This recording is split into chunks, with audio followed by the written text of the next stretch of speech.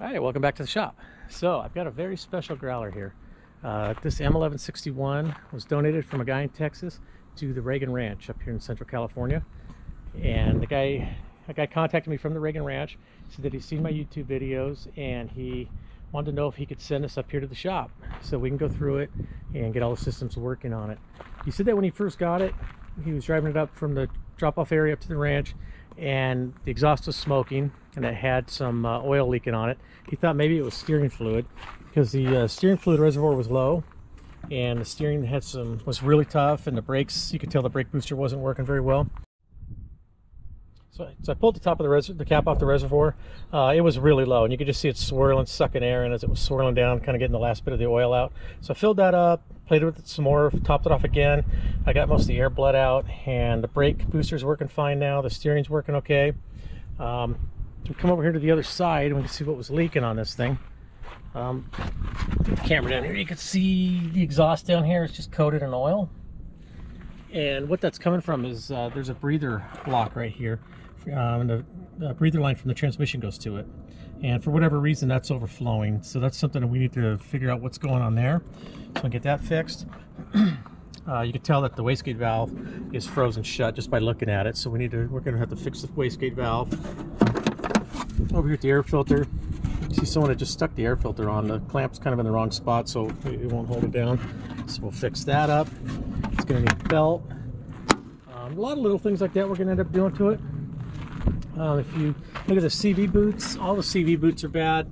Um, they've got grease spraying all over the place, or they're getting close to doing that. So we'll change all the CV boots.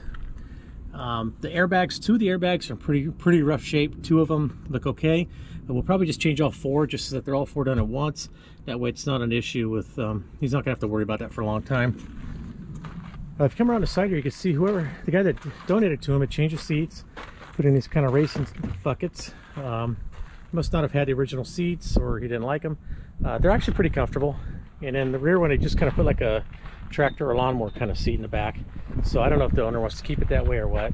Um, anyways, I'm just here to fix up all the mechanical stuff. I'm not really worried about the cosmetics as far as the rust and the paint and stuff goes. Um, one thing that's nice about it, it's got a winch in the front. And I even found a winch controller in the in the back. Uh, it's got a spare tire with a mount. It's got the basket in the back Looks like someone shot one of the mortars through it or something, but I'm going to see if I can get that fixed. Uh, came with the air hose, the air hose system that comes with It's got a tire chuck on it. It's got a blowgun on it. Uh, it's got a jump, well, it's got the winch cable. We use that for jump starting. Back in here, it's got uh, the blue tops, which I have in mine, really good batteries. Uh, you look down at the compressor. Uh, the air filter is just laying there next to the compressor. It's just totally decomposed. Uh, that's not a problem. Put a new, put a new uh, filter on that. Uh, the suspension was stuck at first.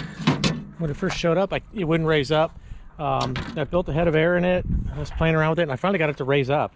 So it's going to have a few issues in there. We probably just have to clean up the valve, do, uh, lubricate the valve, and we'll be able to get that working no, without a problem.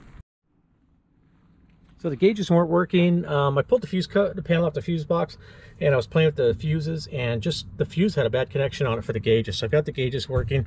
All the other stuff in the dash seems to work okay. Um, you know, aside from, you know, this had an issue, but I think it's in the valving in the back, you know, the height control. But it did work as far as uh, lowering and going back up the right height, and the manual valves worked. The CTIS system seems to work. Uh, doesn't have any faults. So, um, but we'll double check all that, make sure doesn't have any leaks the air compressor works, the horn works, all, um, has a burnout headlight. Other than that, all the lights do work on it.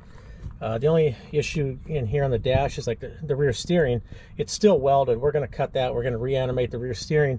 Um, but one thing is usually once we, we turn this on, um, even though the locks are locked and you play with the joystick, you can see the wheel rear wheels twitch a little bit, um, fighting against the locks. But this one's not doing that at all. In fact, we don't have any lights that come on either. So we're going to have to check power to this make sure that, um, you know, see what's going on with this. And we'll make sure that the rear steering is working before we send it back. But um, other, anyways, it's just a real quick video to kind of show you what it was like when it got here. Uh, kind of a documentary video. And I mean, it's, it's absolutely just cool. I'm just honored to be able to work on this thing.